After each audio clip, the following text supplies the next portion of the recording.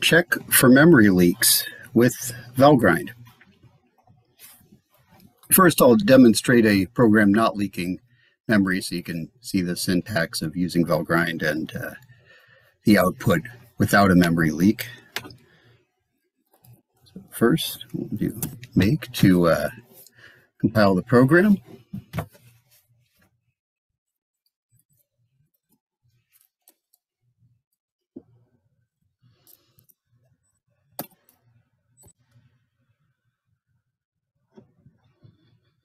And I'm just going to immediately quit, do a minimal demonstration.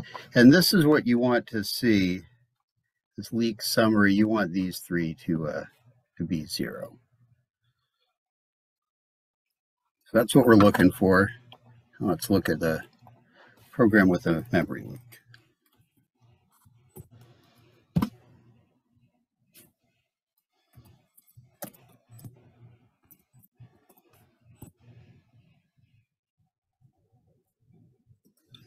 The same thing go. And now I definitely lost 342 bytes in six blocks. And it gives me this tip, rerun with leak check equals full to see details of leaked memory. So try that.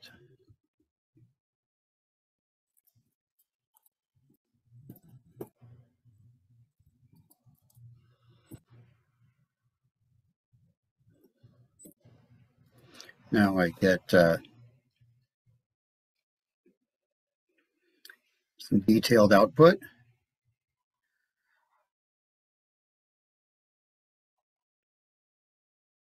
And the first thing that, that comes up is usually where you want to look with um, with this this type of output. So in this case, it's it's set song title at line 70 on song.cpp. So let's look at that. Line 70.